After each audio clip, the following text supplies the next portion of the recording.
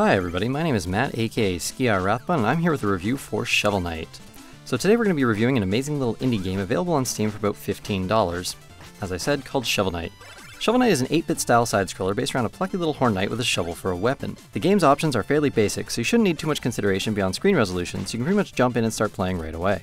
Shovel Knight isn't just grabbing the 8-bit style for graphical purposes, but it also uses the gameplay elements of the 8-bit era. Instant death holes, secret passages, and challenging enemies are extremely standard as you traverse through this fun little world. Your basic attacks are a standard shovel swing, striking enemies to your side, and you can also hold down while you're in the air to do a shovel drop, which is similar to Link's down B sword drop attack from Super Smash Bros. For anybody struggling with the game at all, this attack quickly became my go-to for beating most encounters and enemies as it was extremely potent and effective. The game has very few puzzles and is fairly straightforward. There are a few skillfully challenging areas requiring you to make some precise bounces, but overall nothing most gamers will struggle to handle. However, that's not to say you aren't going to die. When you die, your body spits out three bags of gold which can be recovered if you're lucky and you make it to that point again without dying. Unfortunately, most of the time when you die, it won't be from your health bar reaching zero. You actually get quite an abundance of health, so most of your deaths will be one-shot kills from things like spikes or getting knocked into pits, making your financial recuperation somewhat difficult. Very early on, you're going to want to focus on maximizing your health as having extra life bars makes most encounters significantly easier, almost trivial at times. Make sure to wander around and speak to townspeople once you pass the introductory level. There are some fun mini games to explore and some bonus gold or feats aka achievements to unlock throughout the town. Townspeople help you unlock bonus ways to earn gold, which lets you earn upgrades quite a bit faster if you complete their little challenge quests, sometimes even just selling them some music notes. Now in terms of upgrades for the game, you're going to start with two options. One to increase your health by buying meal tickets from the guy underneath the cook, and then giving those to the cook to cook you a fancy little meal to bump up your values. Or you can upgrade your mana capacity by speaking to the mana girl opposite the cook and paying her directly. Both of these are pretty useful to max out early game, and will be your two main places to dump your cash until you arrive at the second town of the game. At the second town, you'll have the option to buy different types of armor and three upgrades for your shovel. Honestly, I was excited for the weapon upgrades, but I found I didn't get much use out of them, so I wouldn't feel the need to rush for them immediately if you still have other purchases left to make. I did enjoy the armor upgrades, but eventually just stuck with the golden armor that makes you do flashy jumps because I had run out of the need for money pretty quickly into the game, and most of the other armors don't make any sweeping changes on how you play. Upgrades aside, there are also a plethora of unlockable items. Think Mega Man gun upgrades. You get different types of weapons you can use your mana on that allow you to protect yourself or open up additional offensive capabilities. These are fun, and honestly most of them are pretty useful, but most players will probably end up choosing one or two of their favorites and sticking with those. Personally, I found the Invincibility Amulet was a perfect fit for me and stuck with it for the majority of the game. I only used the offensive spells for a few of the final bosses and relied mostly on my shovel beyond that. The level design in Shovel Knight is absolutely fantastic. The levels are usually built around a theme that is encompassed with the boss's specific knight style. For example, the Propeller Knight has a level full of fans and floating platforms, making movement one of the challenging factors of reaching the end. The Polar Knight, however, kicks snowballs and has an entire level covered in ice and snow, while his enemies attack by throwing snowballs and snowflakes.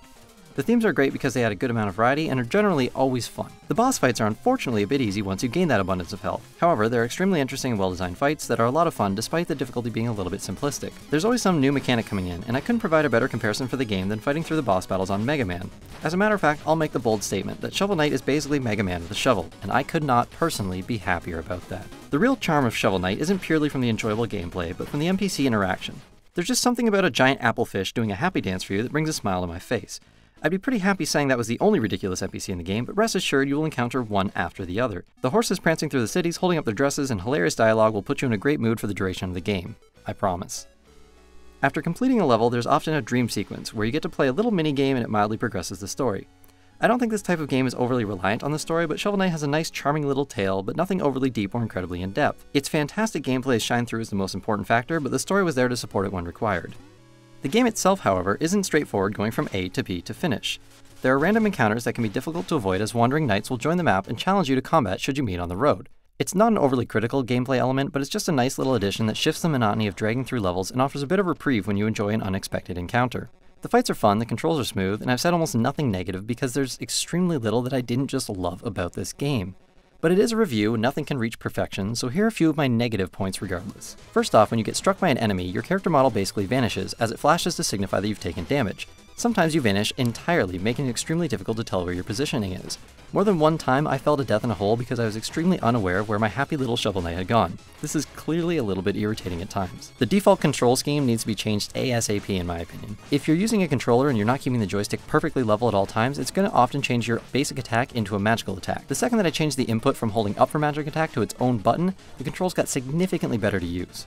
Another issue was that in certain parts of the game there was graphical slowdowns, which seemed odd for having such an extremely high-end gaming PC running an 8-bit game. There should be no shortage of extra power from my hardware, and the game should not chug along at any point in time. However, I kept experiencing this regardless. My final negative point is probably more personal preference than anything, but I think the boss fight should be a bit more challenging.